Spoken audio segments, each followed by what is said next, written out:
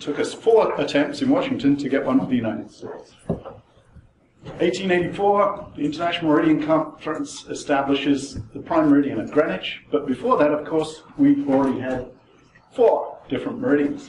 The first one was part of the original plan of Washington, D.C. by Pierre L'Enfant, and it set the longitude of the, cap, the top of the Capitol building at zero degrees uh, longitude. Many early American maps reflect that.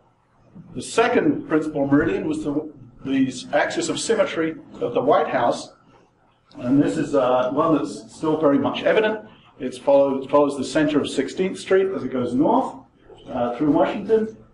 Uh, if you follow it north, you'll go up the length of 16th Street and you'll arrive at Meridian Hill Park, where the one and only original monument uh, was torn down uh, 100 years ago to make, uh, to make way for the road. If you go south from the axis of symmetry of the White House, you pass the uh, zero milestone marker, and you, are in line with the Jefferson Monument, Jefferson Memorial. Halfway between those, right in front of the Washington Monument, is this thing, the Jefferson Stone, which was the original marker for the second uh, prime meridian.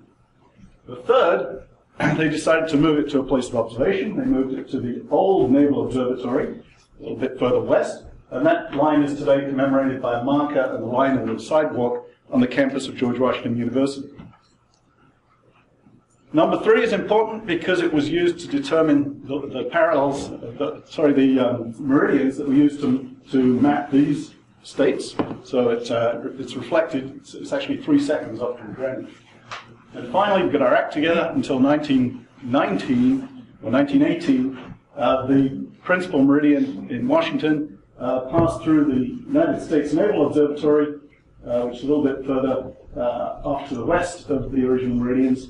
It actually, uh, the, the, roads there make a circle, and it was the dead center of the circle, which actually a hut uh, containing the universal time clock was the marker for the principal meridian.